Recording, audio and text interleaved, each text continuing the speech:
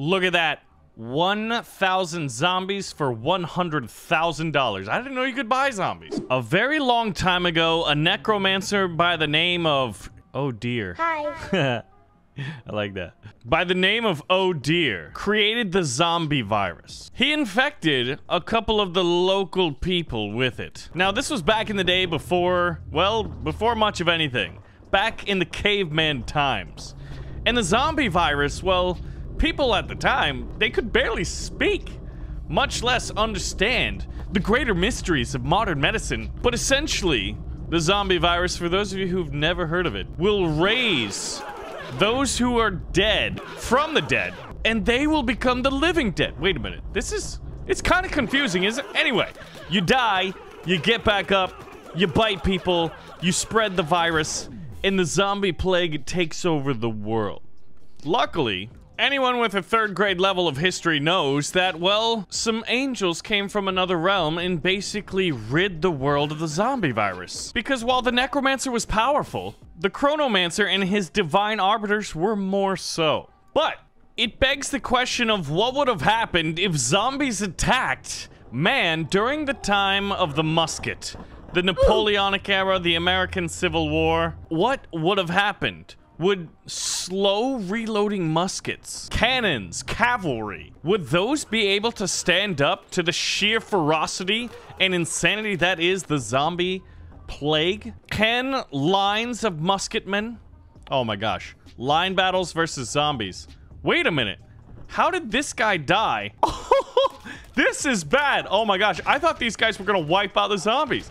But it does ask the question, can muskets and bayonets really do that good against a zombie epidemic? And oh my god, I don't think the answer is yes. When you look at this battle, that was almost 50 soldiers. Some were in a picket line and some were charging with bayonets, but somehow there was a friendly fire incident that miraculously, or I guess unmiraculously so, killed one of these guys and diverted most of the attention. I think if they're able to reload quick enough, they might... No.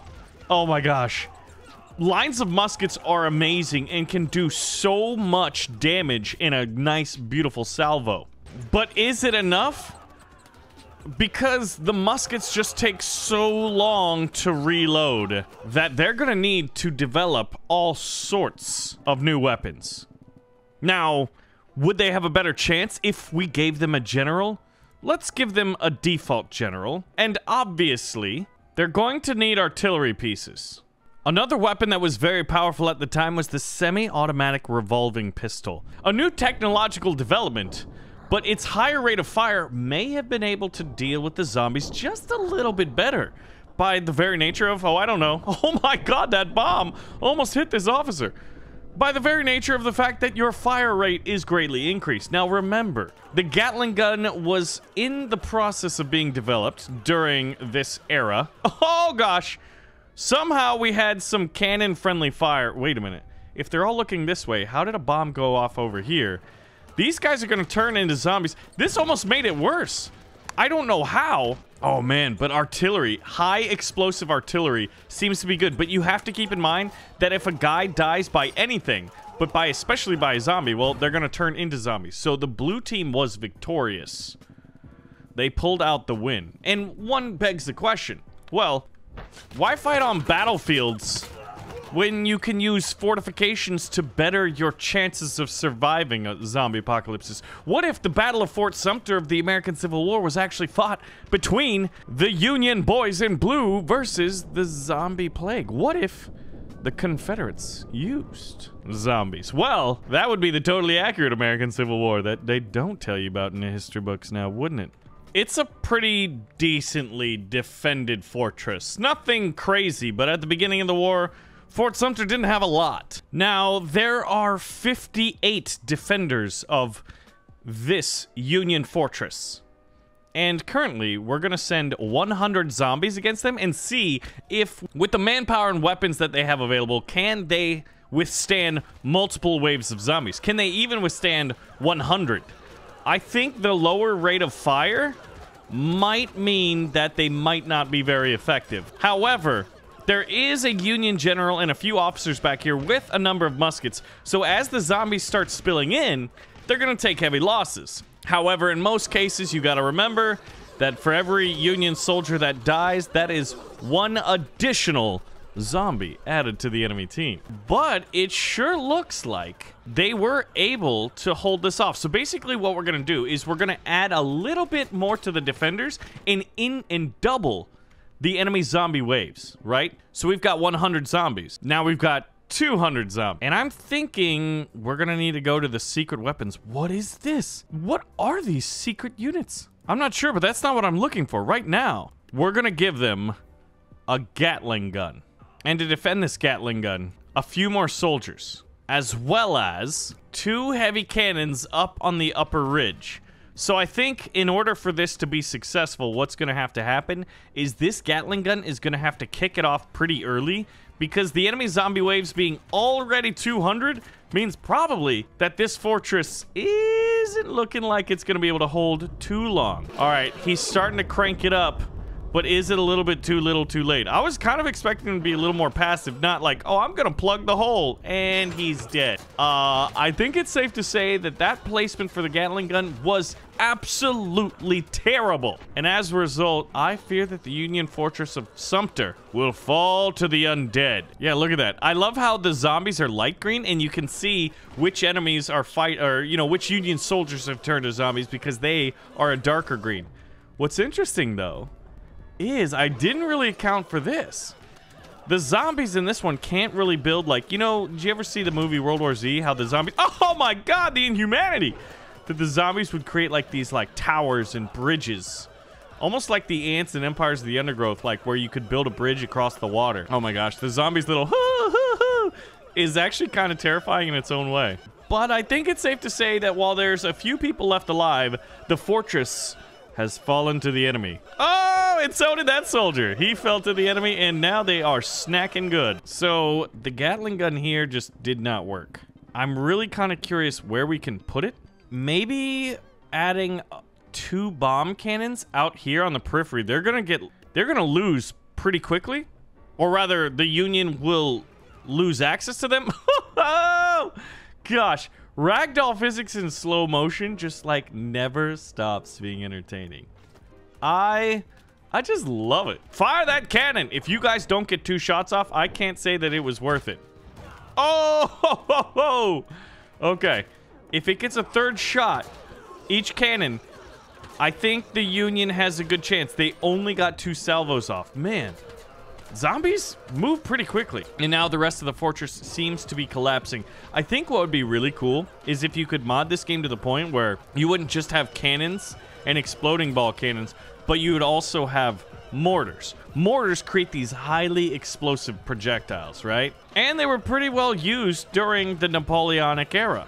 Oh my goodness, we have a very rare treat today, guys. We have a Cyclops. oh my gosh, that's glorious. Okay. I think it's safe to say that the fort would have fallen once again, especially with the friendly fire that the cannons are creating. So the last attempt for them to hold the fortress, who is this guy, a crusader? We're gonna give them a few bomb throwers up on the walls. So now they have 81 soldiers, zombies 200. So the zombies outnumber them over two to one. Oh my gosh. The bomb in slow motion? Yes! Oh, I love the smell of high explosives in the morning. Although I can't smell them through my computer monitor. But they're definitely fun to watch. Oh, wow. The bombs are doing really, really good. So maybe for lack of higher rate of fire, you need more explosive firepower per shot. Therefore, bombs and bomb cannons, since we don't have mortars, are definitely the recipe here. Look, the inner walls of the fortress haven't even been breached, or they're just being breached right now, but the defenders are actually holding their own fairly decently. Now, there are a few bomb throwers back here. Now, it's kind of funny because you have your Union soldiers, right? And you're like, all right, gentlemen, uh, make sure your collars are popped and your hats are nice. I don't know why I'm using the British accent. And then this guy's like, oh, you know what? I made capris out of my pants, right? Uh, and I've got these big boom boom sticks is uh, sticking out my pockets, right? And uh, they're just like, I don't know, man. It's a little bit off-putting. These guys clearly aren't Union soldiers, but maybe it would just be like the local people. They realize, oh, the zombie apocalypse will kill everything. Oh no!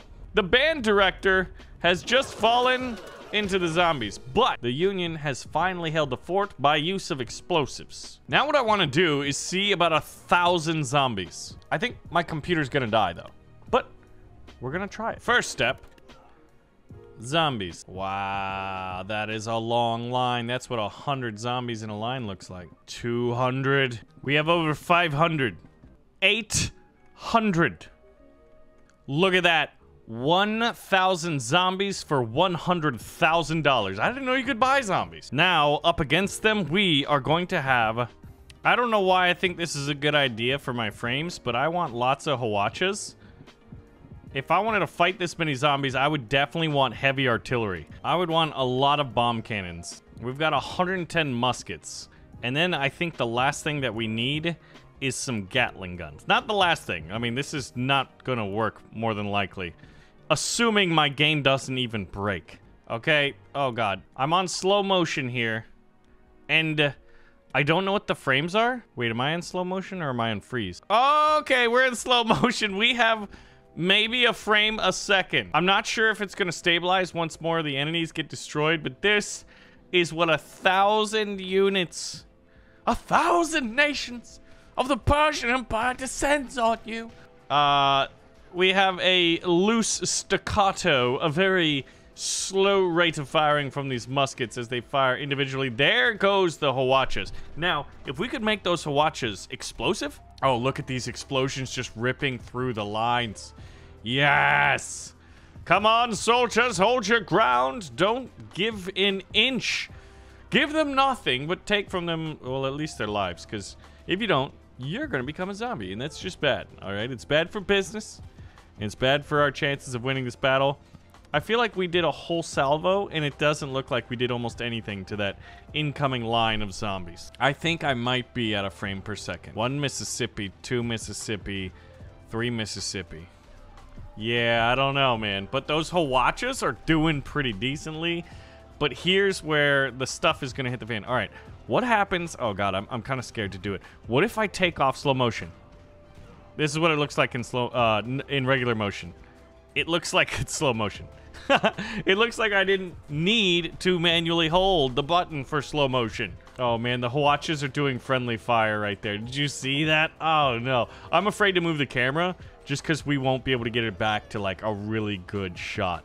So this is what it looks like. I think the zombies just absolutely destroy them. I'm afraid to do any more units on the Union side. But ladies and gentlemen, I hope you did enjoy this zombies versus line battle musket troops in totally accurate battle simulator. If you guys have some ideas of videos that you'd like to see in tabs, we'll leave them below. Thanks for watching, and I'll see you in the next one. And the zombies, wait a minute. The zombies might not win. All right, we're back to slow motion just to see this. Hwachas are firing. I, I'm wondering if there's enough firepower over here. All the Gatling guns are dead, but most of the Hwachas are alive. Ooh, a little bit of friendly fire from, was it a musket soldier? Oh, the Gatling guns are still alive. I think they're going to hold out. Unbelievable developments. Okay, all the cannons are dead. The Hwachas are still firing. Come on, guys. Can you do it? Can you do it? Oh, this is going to be so close. Oh, no. The Hwachas are misfiring. This is not the time to misfire. Can three Gatling guns do it? I think they can. I think they can. Unbelievable. So that's what you needed. Oh my gosh. The blue team was victorious. Look at this. When we press play, the amount of time it's going to take for these things to load in is going to be nuts. That army defeated... Uh, my my camera can't even turn that way. I, uh, I've broken the game in a way. Not surprisingly. Okay, well that's to do it.